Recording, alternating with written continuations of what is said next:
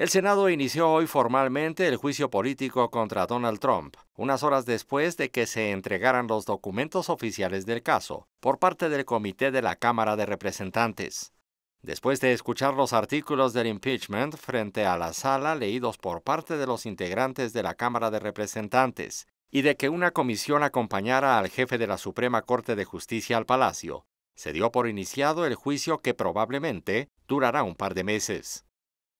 Dentro de la carpeta que fue integrada por la Cámara Baja y que se entregó al Senado, se incluyen pruebas públicas y privadas de las violaciones a la ley por parte del presidente, que conforman las bases de este proceso en su contra, aseguró el congresista demócrata Adam Schiff.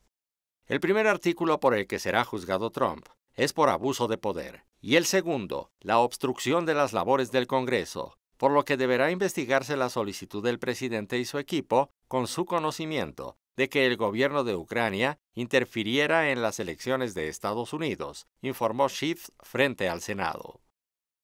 Esta presentación no significa que hoy se desarrolle el juicio completo, más bien es el orden que el procedimiento indica y que solo se ha aplicado a tres presidentes, incluido Donald Trump, como es el caso de Nixon en 1974 y Clinton en 1998.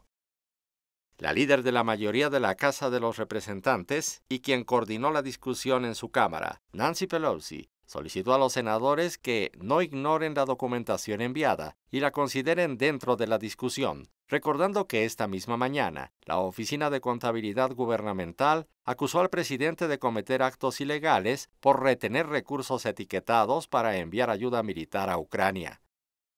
A partir de este momento, los senadores están obligados a permanecer en sus lugares y no a introducir al recinto ninguna lectura o elemento extra, como los electrónicos, ya sean computadoras, tabletas o celulares, que los puedan distraer del juicio político en el cual deben deliberar.